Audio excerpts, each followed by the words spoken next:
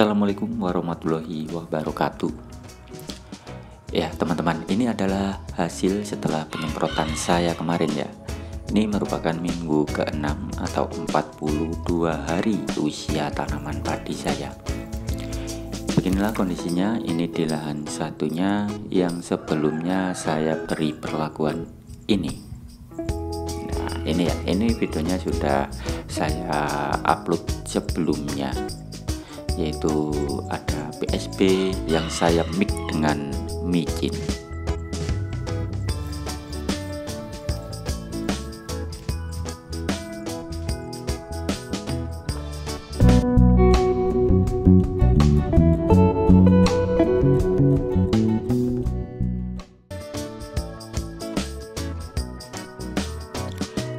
Nah ini dia cuplikan video yang sudah kemarin ya yang sudah saya terapkan yaitu pada minggu kelima.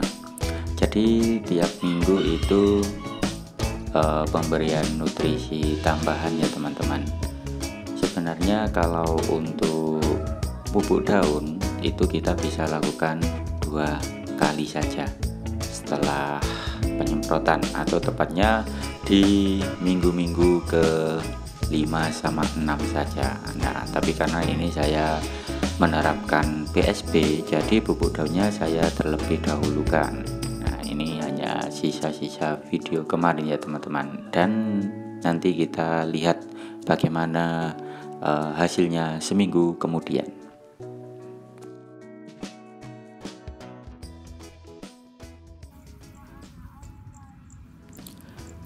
Nah ini dia teman-teman. Ini minggu ke-6 ya sekarang. Ini dia hasilnya ini memang lahan ini cukup mudah ya perawatannya beda dengan lahan yang satunya. Jadi saya ada beberapa lahan yang memang ada yang mudah ada yang cukup sulit. Nah ini contohnya lahan yang menurut saya lebih mudah ya. Karena perlakuan sama kadang belum tentu juga uh, hasilnya sama.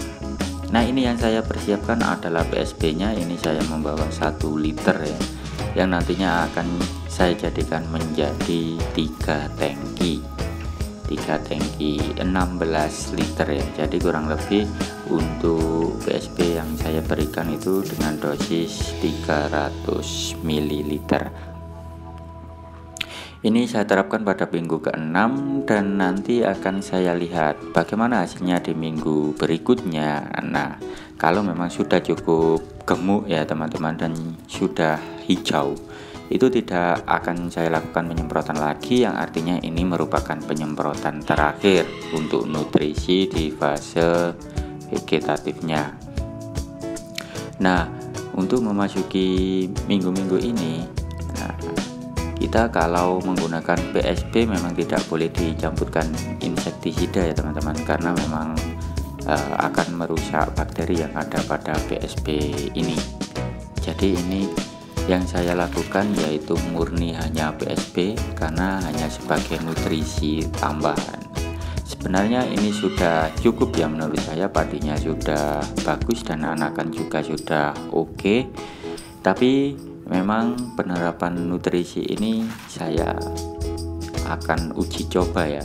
Bagaimana kalau penerapan ini saya lakukan lagi saya tambah satu kali kurang lebih seperti itu ya. Ini saya jadikan satu liter saya jadikan tiga ya teman-teman. Karena ini obat pupuk organik ya. E, jadi saya kira-kira nah ini kira-kira kita jadikan tiga untuk satu liter. Dosisnya seberapa? Biasanya itu 150 sampai 250 ml kurang lebihnya ya. Itu untuk per tangki 16 liter itu menurut saya yang efektif mungkin teman-teman bisa setuju atau tidak karena memang kita sebagai petani itu pasti punya cara masing-masing untuk merawat tanamannya. Nah, pada kesempatan kali ini ini menurut saya sudah yang terakhir ya di minggu ke 6 ini nanti untuk minggu ke tujuhnya akan saya lihat lagi bagaimana kondisinya Nah, ini sudah padat ya, teman-teman. Ini sudah padat. Lahan ini memang cukup mudah karena air di sini selalu banyak ya, yang artinya tidak pernah telat air sehingga padi itu cepat gemuk juga diberi pupuk sedikit itu juga uh, tidak banyak efeknya atau tetap hijau karena memang lahannya selalu tergenang air ya teman-teman. Dan yang perlu teman-teman ketahui ini lahan itu tiap tahun hanya ada tanaman padi. Karena apa? Air di sini itu tidak bisa berkurang. Dan ini sudah berlangsung kurang lebih 15 tahunan ya teman-teman. Jadi setelah adanya saluran irigasi dikelilingi sehingga ini tidak pernah bisa membuang airnya karena memang posisi sawahnya itu lebih rendah daripada uh, saluran irigasinya. Dan saluran irigasi contoh ini yang kecil ya ini di tengah-tengah itu juga selalu tergenang air. Nah jadi seperti ini teman-teman. Kondisinya sudah padat. Yang perlu teman-teman ketahui kadang kita memiliki uh, tanaman dan kita lakukan perlakuan yang sama itu hasilnya belum tentu sama. Itu saya setuju teman-teman. Karena apa? Di sini saya dari beberapa lahan ya ada yang di uh, area sana ya yang uh, pojok kanan atas itu ada rumah. Di situ kan juga sebelahnya tepat lahan saya yang satunya. Itu yang sulit air. Di sana itu sulit air. Uh, air hujan pun tidak bisa tergenang ya. Yang artinya sekarang hujan besok pagi pasti akan habis. Itu lebih sulit perawatannya.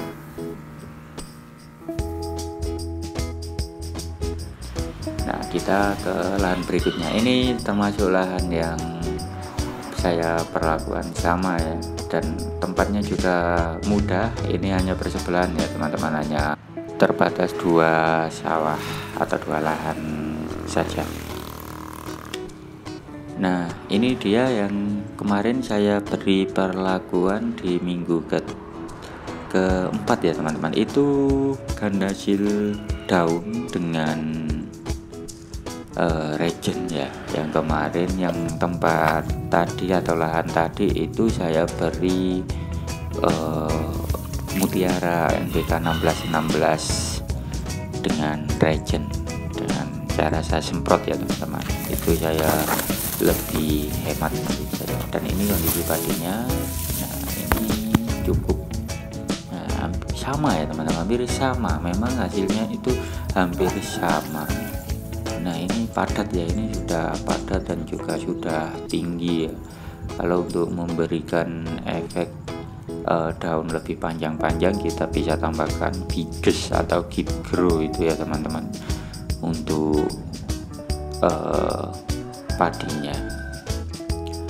Dan ini sama saya juga pemberian PSB ya ini masih PSB yang saya bawa dan kita semprotkan seperti menyemprot bubuk daun. Nah ini di siang hari ya. Kurang lebih ini adalah jam sembilanan atau 8.30 karena memang penyemprotan bakteri fotosintesis ini banyak yang mengatakan lebih baik uh, penyemprotannya di siang hari atau waktu tanaman berfotosintesis.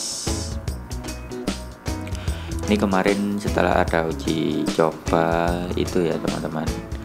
Dan memang sebelumnya PSB ini saya buat hanya untuk tanaman yang ada di sekitar rumah ya, tanam uh, sayur-sayur yang ada di rumah.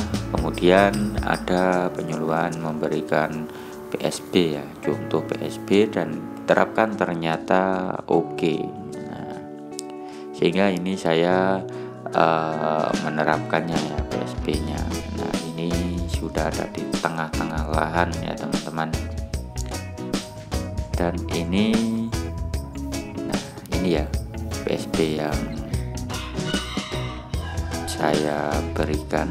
Ini di lahan kedua yang berada di tengah-tengah atau di pertengah pertengahan ya.